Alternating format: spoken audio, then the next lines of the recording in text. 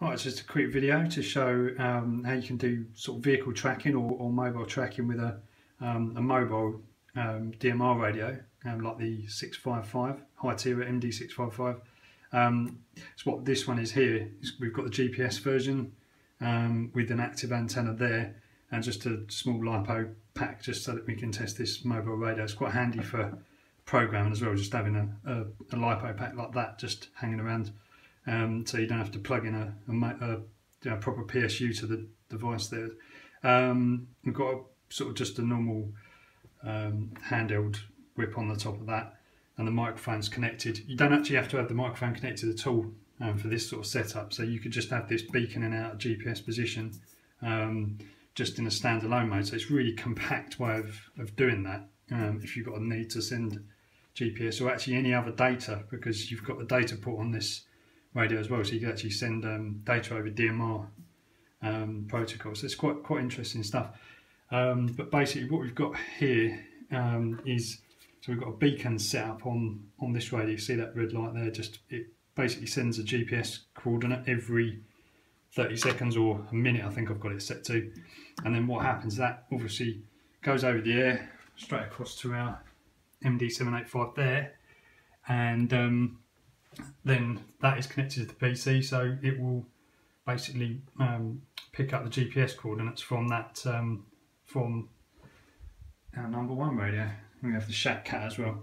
Um, so yeah, it's quite it's quite an interesting um, quite an interesting sort of experiment to do.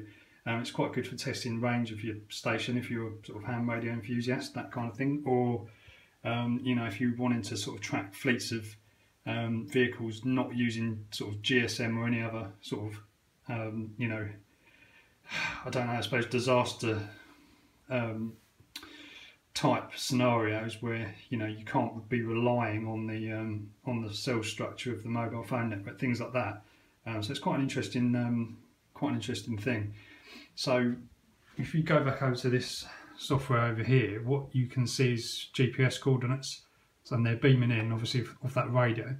Um, this is then saved out into a um, actually a, a, sort of Google Earth compatible format. So you can then um, right here you can sort of zoom in. You see that very faint line there? Um, you can actually make that a lot, lot brighter using the Google tools and stuff. Um, but basically yeah you can do you know proper proper tracking just with um, just with two radios.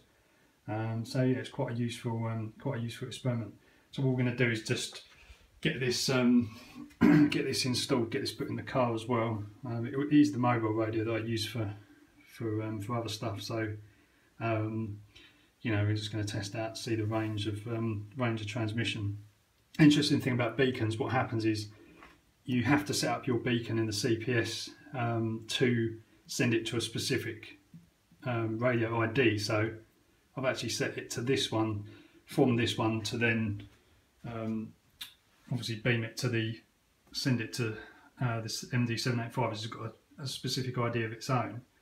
Um, you have to do that because then what happens is this radio acknowledges that it's actually got received the beacon from here. So I don't know if you can see it, but if you if you get so we're on channel three there, what what you can do is you can actually when you change the channel, it will also do a beacon as well. We do do a beacon every every minute every channel change, every power on, power off, um, so it's quite useful.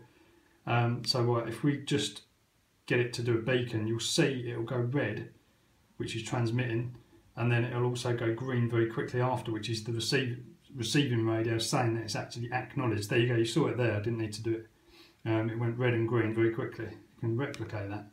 So go red, green, and that's then saying that obviously this one sends it out, this radio sends it out, and the MD785 over there sends back a signal saying, yes, I've received that beacon, and all is all is well.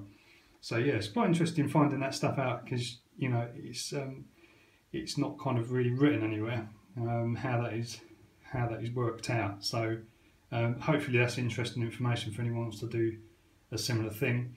Um, you know, there's some jiggery pokery in the CPS. You've got to obviously set all these things up right to, to enable this, but um, uh, we can uh, we can do all of that. So yeah, I hope you enjoyed the uh, the video.